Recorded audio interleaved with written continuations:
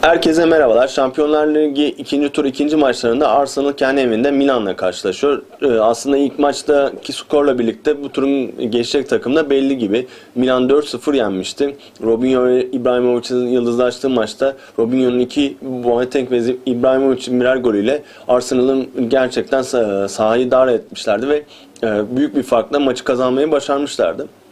Arsenal için bence biraz da prestij mücadelesi olacak. Kapatılmış turu İngiliz takımları için gerçekten aslında Şampiyonlar Ligi çok kötü gidiyor.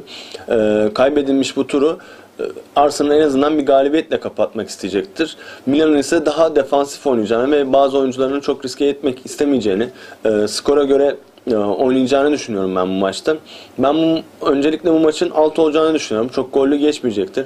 Arsenal fırsatlar yakalamak için oynayacaktır. Fakat e, Milan'ın e, çok fazla Arsenal'ı e, üzerine yenmek için gideceğini düşünmüyorum. Orta sahada ve defansa daha sağlam durmaya çalışacaklardı.